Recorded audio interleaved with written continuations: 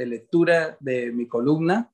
Ustedes saben que con Gustavo Petro fuimos hasta el domingo pasado porque ya arrancó la campaña. Prácticamente los domingos eh, en adelante nuestro candidato va a estar en plaza pública, en las diferentes ciudades. Em, hoy pues eh, hemos querido llamar este, este espacio el platanal, ya se enterarán por qué razón, eh, y es en lo que se ha convertido este país desde hace mucho tiempo por su subdesarrollo, por las crónicas que son muy prolíficas en un país con tantos egos, tantas envidias, tanta, eh, tanta ambición de poder, en fin. Eh, pero lo vamos a abordar de manera positiva. Realmente no, no, no va a ser una crítica a Colombia. Al contrario, queremos construir, construir y construir, que es lo que nos, nos, nos queda a esta generación eh, en momentos en que, en que pues, el país atraviesa por una coyuntura muy especial y es la posibilidad real de que los movimientos alternativos, es decir, los representantes reales del pueblo accedan al poder. Eso no lo hemos tenido sino en 2018. Ahí ya vimos que por algunas mezquindades se perdió esa oportunidad de ganar y también por un fraude electoral que ya todos ustedes saben que está probado y que existió. Pero volvemos nuevamente, creo que con un ultimátum en, en los hombros y en las espaldas, a tratar de, de acceder al gobierno y me refiero a un ultimátum porque se requieren dos cosas importantes para lograrlo. Primero, una unión de todos los movimientos alternativos, a pesar de todo lo que haya pasado, a pesar de todo lo que nos hayamos dicho. Pienso que eh, tenemos que estar a la altura de, de, la circunstancia y del momento histórico y, eso implica hacer concesiones de grandeza, comernos algunos sapos si toca y llegar unidos. Esa es una de las condiciones. Y la segunda, cuidar las elecciones. Pues, quería contarles, ahora les cuento un poco más, que sobre eso ya estamos trabajando. Eh, es, una, una empresa muy compleja porque se requiere mucho dinero, de muchas personas. Eh, estamos hablando de más de 160 mil testigos y jefes de puestos, jefes municipales, eh, muchos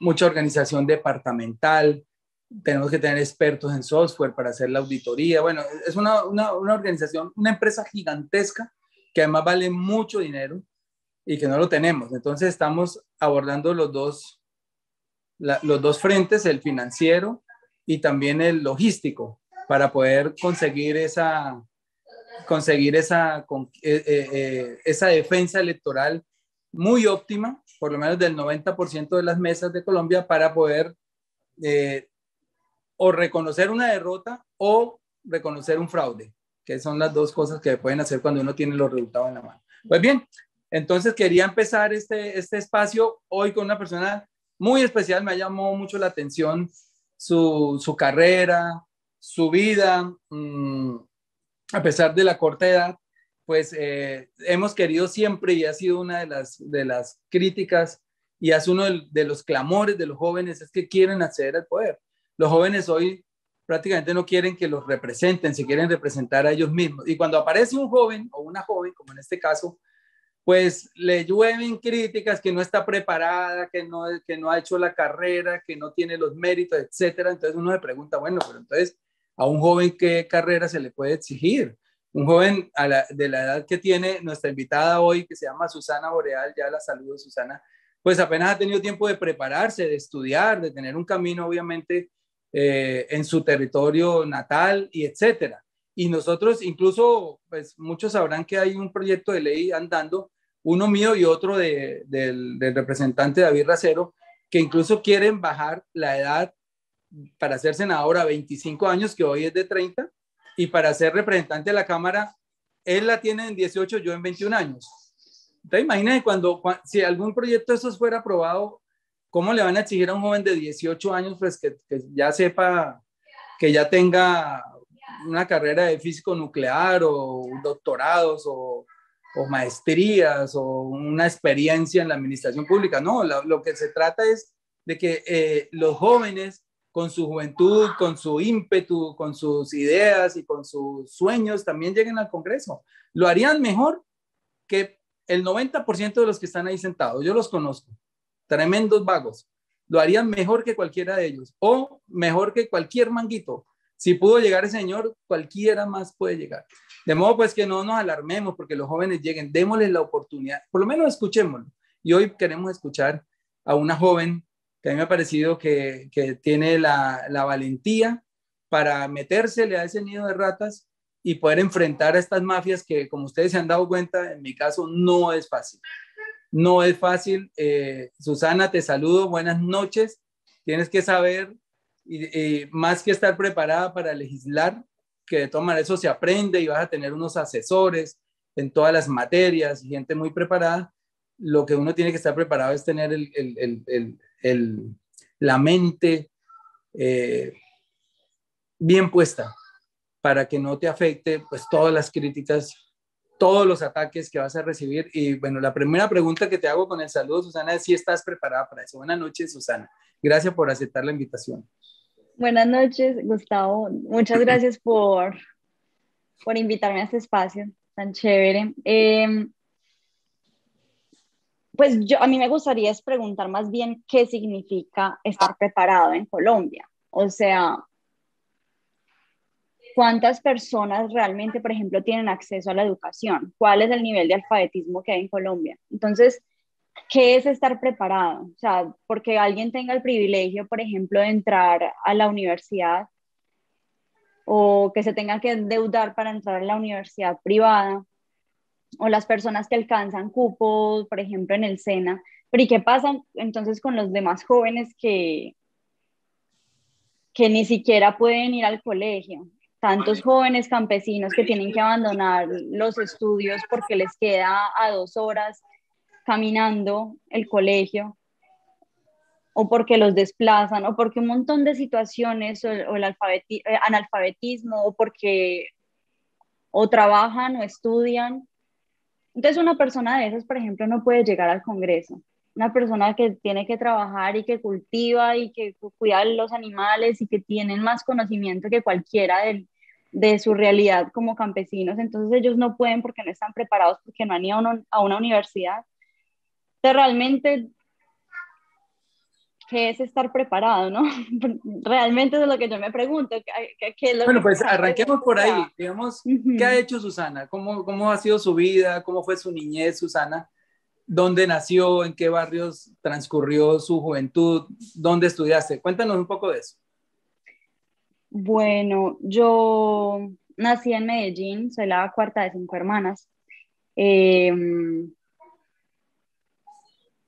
¿No tuviste hermanos varones?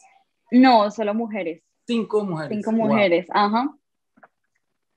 Vi toda mi vida en el occidente de Medellín. Entonces, entre el barrio Santa Lucía, que es de hecho muy cerquita a San Javier, viví también una parte de mi vida en unos barrios de la Comuna 13 y en la Floresta también. o sea, siempre noroccidentales. Eh, occidentales. Occidentales puro occidente, solo occidente. Viví ahí, ahí estudié música también en la Escuela de Música San Javier. Entonces salía del colegio y me iba siempre para, para la Escuela de Música y estaba todo el día allá, los sábados y los domingos también. Iba ¿Cuándo, supiste, Susana, que la música era lo tuyo? Sí, como que ya, me hice clic con la música y aquí me quedo para siempre. Ay, yo creo que fue un proceso porque a mí me encantaba la música, me llevaban a la escuela de música y allá estudiaba violín, canto, todo. Y realmente, cuando, pues como cuando ya estaba más grandecita, que uno empieza a pensar en qué es lo que voy a estudiar en la universidad. Eh, de hecho, yo empecé fue estudiando matemáticas pura, hice un año antes de estudiar música y ahí dije como, bueno, la música es lo que no me puede faltar en la vida. O sea, me va a doler más dejar la música que dejar las matemáticas. Entonces me pasé para canto lírico, hice tres años y medio y después me pasé para dirección orquestal y ya este es mi quinto año y no he podido graduarme por la pandemia. De dirección orquestal. Bueno, eh, tengo entendido que en, esos barrios donde creciste, pues la vida no es fácil. Eh, la Comuna 13, y, conociendo tu edad, prácticamente eras una niña cuando eh, el gobierno de Uribe se tomó la Comuna 13. Eso fue por allá 2002, 2003, 2002, etc. ¿Cuántos años tenías ahí y, estabas cerca? ¿Cómo viviste ese, ese, episodio? Porque yo veo que hoy estás en un contrapunteo con el expresidente Uribe acerca de ese episodio, que ya lo vamos a narrar acá. Cuéntame un poco de eso. Claro, pues es que para los que de pronto no, no han visto lo que pasó ahí en Twitter, eh, pues a raíz de, lo que hubo acá, que Gustavo Petro vino y caminamos por, las, por la Comuna 13, por las calles de, de, la Comuna 13 en Medellín, pues entonces salieron varios actores como a, adjudicarse como el mérito de, de haber podido Gustavo caminar allá. Entonces, en una de esas, Álvaro Uribe hace un, un, un tweet hablando de esto y pues yo le respondí que, o sea, que la violencia había sido tal que las armas y que, y que las balas y que todo eso habían silenciado muchísimo los instrumentos de cuando yo era una niña y estudiaba allá. Y entonces el expresidente Uribe me manda un mensaje, un DM en Twitter y luego me bloquea y me dice que, me dice como haga política señora, pero muestre un poco de respeto por los, muestre respeto por los hechos, algo así. Y pues vimos que hace poco ante la Comisión de la Verdad hizo lo que él siempre dice, que es todo se hizo a mis espaldas, ¿cierto? Entonces, ¿cómo me puede pedir respeto por los hechos o cómo puede decir que tenga respeto por los hechos si él mismo, pues, según lo que él dice, no sabe lo que pasó, ¿cierto? Según lo que él dice. Entonces, ¿cuál respeto? Pues te puedo contar que cuando yo era pequeña, yo tenía como ocho años, yo en ese momento vivía en Santa Lucía. Santa Lucía es como el límite entre, entre la Comuna 2 y la Comuna 13, que es el barrio que queda más cerquita a San Javier, de hecho el metro pues pasa por ahí. Y recuerdo, o sea, que si mucha familia mía vivía en la Comuna 13. Muchos de mis compañeros vivían en la Comuna 13 y nos cuentan que fueron tres, cuatro días de horror en los que se tenían que meter en las casas, esconderse en los baños, debajo de las camas, rogando porque una bala no entrara a las casas o porque no llegaran, pues como el ejército o los paramilitares a las casas a, reclutar a, a, las personas pues que vivían ahí. A mí me tocó ver muertos, a mis compañeras sí les tocó ver todo el tiempo muertos, porque después yo estudié en otro colegio que quedaba muy cerquita la Comuna 13 y, y nos contaban que los veían en las calles, que, por ejemplo, en mi escuela de música mis compañeros no podían ir a estudiar pues por el miedo o si iban les tocaba hacer un montón de laberintos para no atravesar fronteras invisibles yo escuchaba casi todos los días balaceras, me acuerdo, o sea, increíble, por ejemplo, que uno tan pequeño ya pueda reconocer cuándo es el sonido de las balas y cuándo es, cuándo es pólvora, por ejemplo. Yo te cuento que en esa época tenía un programa que se llamaba Unidad Investigativa y fui a la Comuna 13, tan pronto el ejército ya tomó el control de, la, de la montaña, porque eso es una montaña prácticamente. Y, entré a muchas casas donde la gente me mostraba las balas en ceniceros. Todo el mundo había recogido. Fue tanta la balacera que, que, me acuerdo que la gente salía y me mostraba los casquillos de las balas y había una cantidad de casas pues llenas de agujeros. Fue una guerra, guerra, guerra. Y tengo entendido que hubo unos 300 desaparecidos que según el relato terminaron en la escombrera municipal. Y ahí, eh, digamos, por eso es que a mí me llama la atención su tweet, porque pues bueno, muchos hemos enfrentado a Álvaro Uribe y, lo hacemos con valentía y digamos, nos, nos le hemos metido de frente, pero una joven como tú, tan, que uno la siente tan frágil y desprotegida porque pues no tienes eh, escoltas y etcétera, y por tu edad y etcétera, me parece que tienes mucho coraje y escribirle cosas como, eh, señor presidente, bueno, una respuesta a Álvaro Uribe, dice, usted pide respeto por los hechos de la 13 cuando repetidamente en casos como estos afirma que todo se hizo a sus espaldas al momento de asumir responsabilidades, el engañado, o sea, diciendo, hay una incoherencia porque porque va a pedir respeto si está diciendo que lo engañaron. Segundo, esto me llamó mucha, mucho la atención, su mensaje no nos intimida. Hoy los jóvenes ya no se dejan intimidar por Álvaro Uribe. Bueno, en este momento estamos con las noticias del pacto histórico en nuestra recordada sección en el informativo de las doce y media. Por eso en este momento les presentamos eh, la intervención del senador Gustavo Petro, eh, que se dio hace unos minutos durante el seminario realizado, durante un seminario realizado en la ciudad de Santa Marta, donde se refiere a cómo sería su coalición de gobierno para las elecciones del 2022 y cómo sería esa transición democrática si el petrismo llega al poder o la fuerza política que llegue después de las elecciones del próximo año. Vamos eh, en inmediato con las declaraciones del senador Gustavo Petro desde Santa Marta.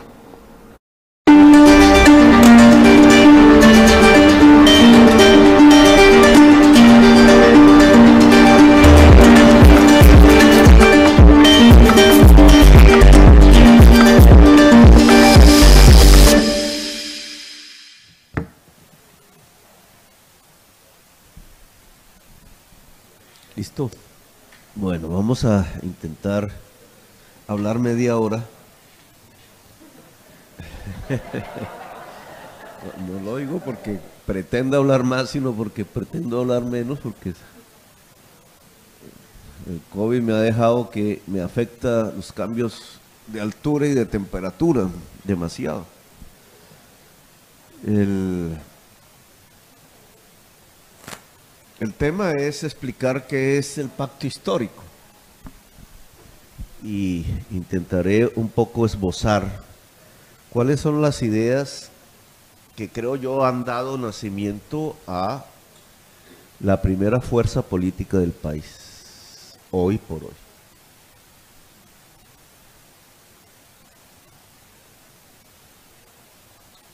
¿Queremos cambiar el país o no queremos? Eso es lo primero que hay que preguntarse.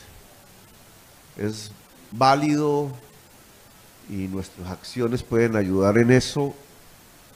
Eh, pensar que el país puede seguir como va.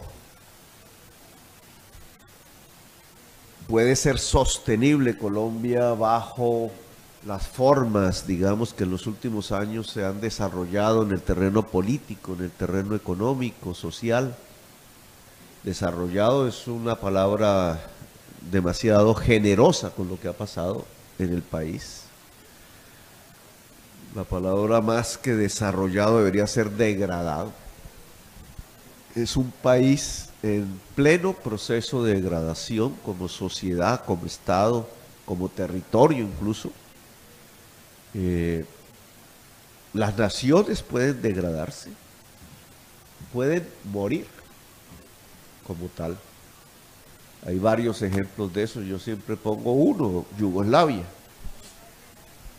concepto nacional yugoslavio, yugoslavo apareció, creció, se hizo incluso poderoso y murió. Murió por una autodestrucción. La sociedad colombiana, que entre otras cosas su geografía se parece un tanto a la de los Balcanes, puede autodestruirse. Yo creo que estamos viviendo unos días, unos años, donde como testigos y a veces como protagonistas hemos sido, eh, hemos visto una autodestrucción de la sociedad, del Estado. Y esa autodestrucción es violenta, salvaje, bárbara. No es una autodestrucción pacífica, en general eso no sucede. Las sociedades no se acuerdan pacíficamente un proceso del morir. Pueden acordar pacíficamente un proceso del vivir, pero no del morir. Los procesos de muerte de una sociedad en general son violentos. Y si eso es así, si esa percepción que tenemos de la sociedad y del Estado colombiano es esa, es esa la realidad, un proceso de autodestrucción, Entonces es obvio que las fuerzas sociales, políticas, que tienen otro interés, otra idea, no pueden permitir esa autodestrucción. Deben cambiar el desarrollo de los acontecimientos. Toda su energía, su esfuerzo intelectual, físico, etcétera, tiene que concentrarse en impedir la destrucción de la sociedad colombiana, es decir, de lograr el cambio.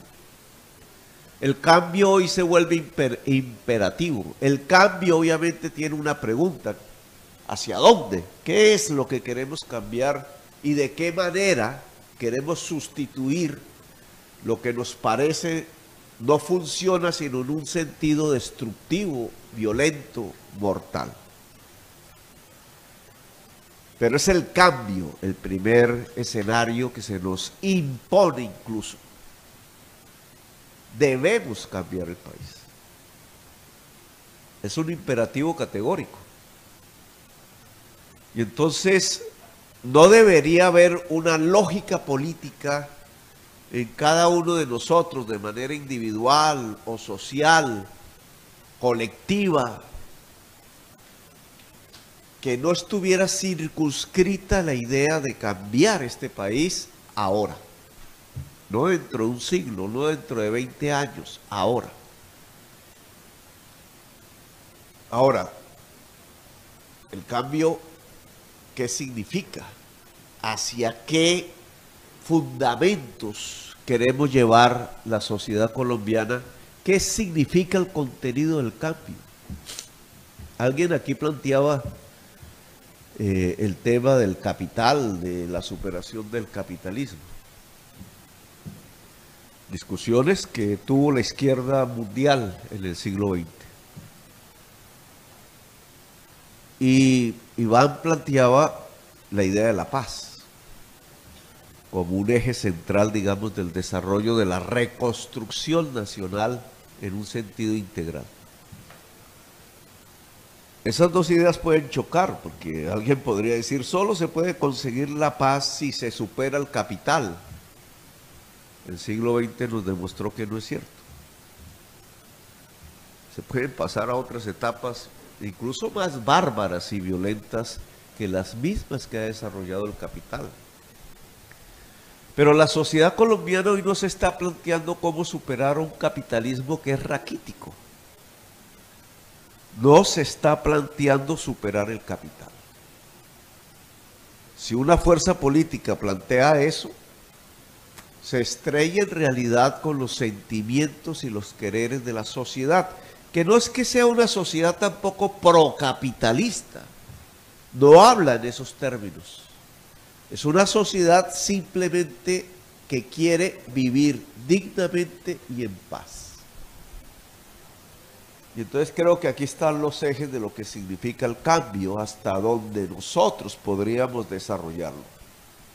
Otras generaciones podrán plantearse otro tipo de desarrollos hacia adelante, otro tipo de cambios, porque las sociedades fluyen, siempre cambian. La nuestra, la de ahora, la de este momento, la que tiene ante sí un reto en los próximos años, ¿Qué se puede plantear como cambio? La construcción de la paz.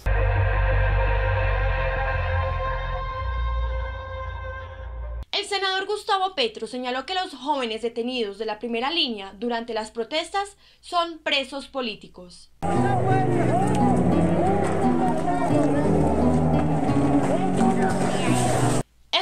Y lo hizo saber a través de su cuenta de Twitter, respondiendo a un informe del espectador. Esto es lo que dice. Si han detenido 165 jóvenes de primera línea solo por defender el derecho a las protestas, estamos ante 165 presos políticos que todo el movimiento nacional e internacional de derechos humanos debe defender para evitar tamaña arbitrariedad. Esto lo respondió a un informe del espectador que dice, la mayoría de las judicializaciones se encuentran en Bogotá, Cali, Soacha, Pasto y Río Negro. Además, también agregó, Si el fiscal general ha dado instrucción a sus subalternos para judicializar la protesta social, estamos ante un delito de y abuso de poder de un funcionario público. Si ha sido explícito en que a los jóvenes que protestan se les acuse de terroristas, estamos ante un delito peor. Además, también agregó, el terrorismo que comete aquel que con dolo, es decir, con la voluntad premeditada de hacerlo, busque aterrorizar indiscriminadamente a la población, la protesta busca es reformas del Estado. Si son violentas, se les puede calificar como asonada, un delito político.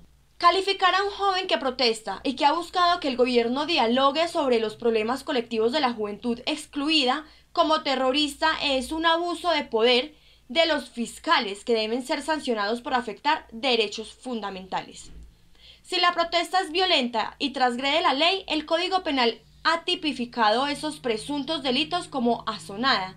La rebelión, la sedición y la asonada son, según la ley, delitos políticos. Y es que en el marco del paro nacional se vulneró bastante el derecho a la manifestación y hasta a la propia vida. No estoy a favor de la violencia, ni mucho menos, pero creería que lo que se vio durante el paro nacional en parte fue provocado por los mismos policías. Pues en estas manifestaciones, en las últimas manifestaciones, se vio bastante la represión policial y también se vieron vulnerados los derechos a, la, manifestación pacífica. Muchas de estas manifestaciones empezaban pacíficamente, simplemente marchaban o se reunían en algún lugar y la policía o los del SMAT llegaban simplemente a tirar sus gases lacrimógenos y hasta ahí llegaba la tranquilidad. Yo que también llegué a participar de de estas manifestaciones, sé lo que estoy diciendo, sé lo que estoy hablando. Se reunían en un lugar determinado y estaban todos pacíficos, estaban todos reunidos, haciendo sus cánticos. Era una fiesta pidiendo y pidiendo por estos derechos, ¿cierto? Pidiendo ser escuchados por el gobierno nacional. Y simplemente llegaban los, los, los del SMAT, tiraban una, un gas lacrimógeno para dispersar a las personas y hasta ahí llega la tranquilidad no había más o, muchas personas no habían otra opción que simplemente también atacar a los del SMAT o atacar a la misma policía. Y lo que es la primera línea se armó y se vio la necesidad de crearla por el derecho propio a la humanidad, por el derecho propio a la vida. Porque me parece injusto que vengan a atacar a personas indefensas, a personas desprotegidas, policías eh, o, esta policía antidisturbios, que es la del SMAT, cubiertos totalmente con algo que les protege, con estas armaduras que les protegen su cuerpo, con cascos que les protegen su cara, tirando simplemente gases a las personas, ¿cierto? Además, pudimos ver el caso de Ilan Cruz hace, pues en 2019, también en las manifestaciones donde, gracias a uno de esos proyectiles que lanzó, eh, uno del SMAT, él perdió la vida en ese momento, ¿cierto? Entonces se vio, la, se vio o se vieron en la obligación de crear una primera línea para protegerse, para tener escudos, pues cabe resaltar que algunos o la mayoría o la mitad de estos detenidos son personas que simplemente lucharon por defensa propia o que además simplemente lideraban esas manifestaciones. Porque también se ha podido ver, o también se pudo ver en esas manifestaciones, como simplemente detenían a estudiantes que lideraban estas manifestaciones, que lideraban las protestas pacíficas, las movilizaciones. Simplemente querían ser escuchados. Además también conocemos los rumores de los policías infiltrados, que llegaban o que se infiltraban de civil en las manifestaciones para empezar a hacer para empezar a hacer desmanes y luego culpar a la multitud de manifestantes. También se han visto videos donde los mismos policías eran los que quebraban vidrios, los que entraban a saquear almacenes o cualquier otra cosa, y también ellos se encargaban de vandalizar. Y también las personas que salían en sus camionetas, en sus carros, con armas, a tentar con la vida de los manifestantes. De hecho, hubo bastantes fallecidos por esto. Caso Pereira, caso Cali, que en Cali también se vivió noches de terror. Así que estas personas quedan libres ¿Y los civiles infiltrados de la policía dónde están? ¿Y dónde están estas personas que salían en sus carros a atentar con la vida de las demás personas? Pero entonces, para nuestra rama judicial, es más importante o es más delito las personas que manifiestan, que alzan su voz para que para ser escuchados por el gobierno nacional que la misma vida. Porque y vuelvo y coloco el caso de Andrés Escobar. ¿Qué pasó con él? Absolutamente nada. Pero entonces reitero, como muchas veces he dicho y he pensado, que lastimosamente la justicia en Colombia son para, para los pobres. Porque estas personas que tienen palanquitas, esas personas que tienen dinero, no hay justicia para esas personas. Vamos a mirar en Twitter las respuestas y las reacciones de internautas frente a este tweet o a estos tweets de Gustavo Petro. Loyar Manuel dijo, ¿quién fue el que inventó que la protesta debe ser pacífica? ¿Acaso cuando tú y yo protestamos no lo hacemos vehementemente? Hay videos donde la misma policía está rompiendo ventanas y disparándole a mansalva a los manifestantes. ¿Eso qué es? ¿Por qué no están detenidos? Gloria Barón comentó. Excelente explicación, senador Petro. Usted sí la tiene bien clara porque es una persona inteligente y muy humana. Gracias por defender a nuestros jóvenes, presente y futuro de esta nación. Gracias por llevar a Colombia en su corazón. El Sanidia Rodríguez comentó.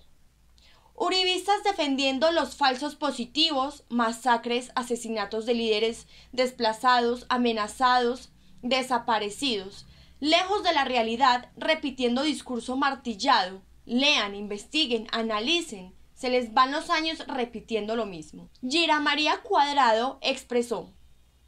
Claro, son presos políticos porque son voceros. Doctor, hay que ayudar a los chicos. No permita semejante injusticia. Estamos con usted. Aner Ome Ríos comentó, el derecho a la protesta social está en la Constitución. Lo que no está en la Carta Magna es la corrupción que prevalece más en este gobierno y que la Fiscalía apoya. Se nota bastante la censura que hay contra los jóvenes, que hay contra las manifestaciones. Se supone que la protesta y la, pues la manifestación, la protesta es un derecho de las personas. Pero aquí lo quieren simplemente callar, lo quieren censurar, quieren pasarlo por alto. Y si va a ser que a estos jóvenes, a estos 165 jóvenes los van a judicializar por protestar, obviamente entre ellos 165 de pronto habrán vándalos verdaderos que atentaron de pronto contra contra la vida propia. Bueno, está bien. Pero creería que también hay líderes de universidades o líderes que también se colocaron como al frente de esta, de esta marcha, de estas protestas, que están ahí injustamente, o personas que simplemente o arbitrariamente las detuvieron por estar en el lugar equivocado. Pero si hay justicia para ellos, entonces espero que también haya justicia para Andrés Escobar, para todas esas personas que salieron en sus carros a atentar con la vida de los manifestantes y también que haya justicia para esos policías infiltrados que también hicieron que las protestas se tornaran totalmente violentas.